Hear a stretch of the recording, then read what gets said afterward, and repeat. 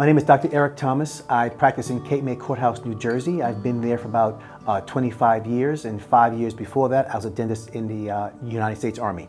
I've been practicing with uh, the Vivos treatment for about two years now.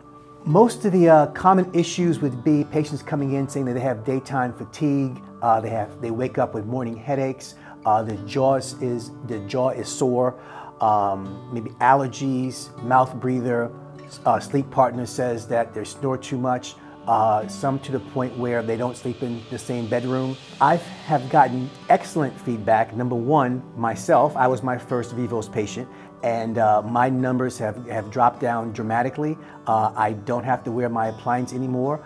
Uh, I like wearing it, so I may pop it in periodically.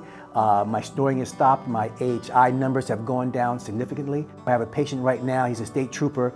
He said he was waking up at least five, ten times a night waking up because he couldn't keep a, a good sleep.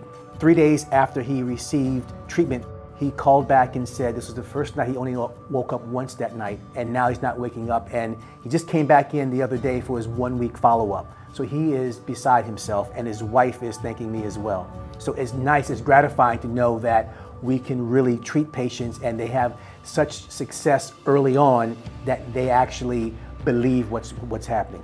Breathing and sleep treatment, I think, is pretty fascinating. It's close to me because I was a uh, moderate sleep apnea patient and did not know it.